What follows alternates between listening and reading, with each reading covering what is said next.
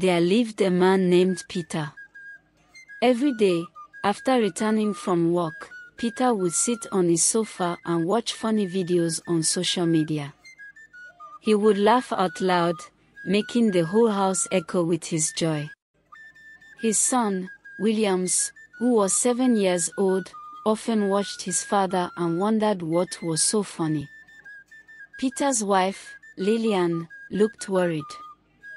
She didn't understand why Peter was always so engrossed in his phone, laughing away and not paying attention to his family. One day, as usual, Peter came back from work, sat on the sofa, and started laughing while waiting for his dinner. That evening, Williams was trying to do his homework in the living room, but his father's laughter was distracting him. Curious, Williams went to his father and asked, Daddy, can I watch with you? Peter smiled and said, Sure, come and see. They both started watching the videos, laughing together, and Williams forgot about his homework. Lillian called from the kitchen, Dinner is ready, let's eat together. They all had dinner, and afterward, Peter and Williams went back to watching the funny videos. Lillian noticed and asked Williams, Have you finished your homework? Williams shook his head and said, No, I couldn't focus because of daddy's laughing. Lillian then called her husband, Peter, we need to talk.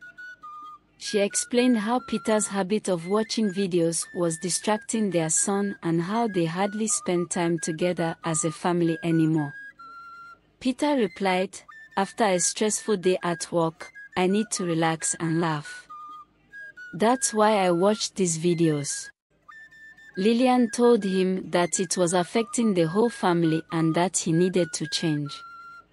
Peter promised to try and apologized. One day, Peter came home from work and was surprised to see Williams dressed in a girl's clothes, welcoming him. Peter was angry and asked, Why are you dressed like this? Where did you get these clothes? Williams replied that he borrowed them from Angela, their neighbor. Lillian heard the commotion and came out. Seeing Williams in girl's clothes, she was shocked. She sat him down and asked, Why are you wearing these clothes, Williams? Williams asked, Can't a boy dress like a girl? Lillian gently explained, No, my son. As a Jesus boy, you are not supposed to wear what belongs to a girl. We should be content with what we have. God made us in His image, as male and female. She then asked him to bring his Bible and showed him Genesis 1 verse 27. So God created man in his own image, in the image of God he created him, male and female he created them. She also showed him Matthew 19 verse 4. Have you not read that he who made them at the beginning made them male and female? Lillian continued, Have you seen it? So, you are not meant to dress or behave like a girl because God made you in His own image. I hope you know that you are fearfully and wonderfully made. You are not meant to behave like the people of the world. You shouldn't copy what you see in movies or on social media. That is their pattern, the pattern of the world. You are meant to be proud of how God made you to be. Lillian continued, We are not of the world, we are of Jesus. It is wrong for a boy to dress like a girl. God made you a boy for a reason, and you should be proud of that. Have you ever seen me dress like your dad or your dad dress like me? Williams shook his head. So, I don't understand why you should behave like that. The world has its own patterns, and the children of God have theirs. We are the children of God, and we are light, and we are meant to shine our light. As the Bible says in Matthew 5 verse 16, Let your light so shine before men, that they may see your good works, and glorify your Father which is in heaven. The pattern of the world is darkness, and darkness must not overcome the light. You are a light, and you must overcome darkness.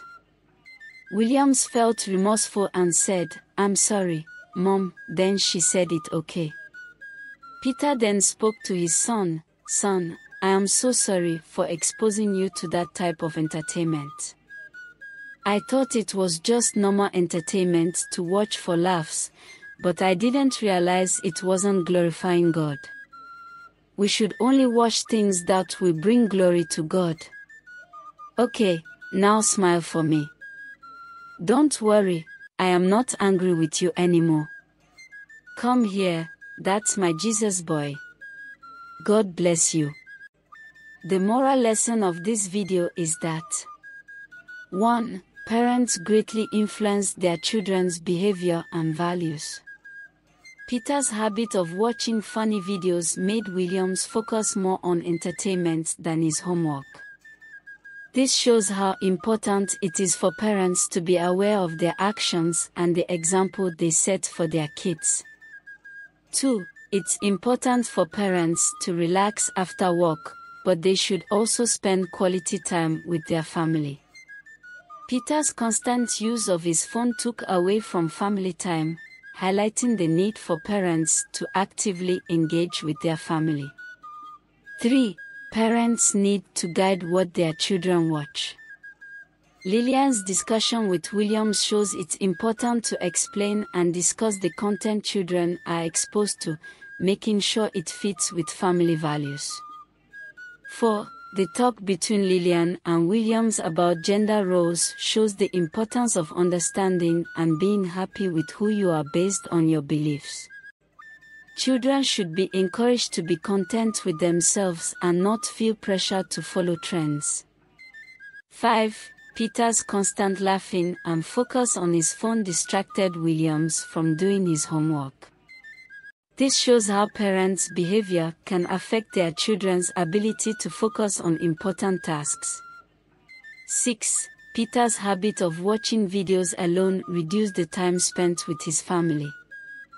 Quality family time is crucial for building strong family bonds and providing emotional support. 7. Without supervision, children may imitate behaviors or ideas from media that don't align with family values or are inappropriate for their age. Williams dressing in girls' clothes after seeing such content is an example.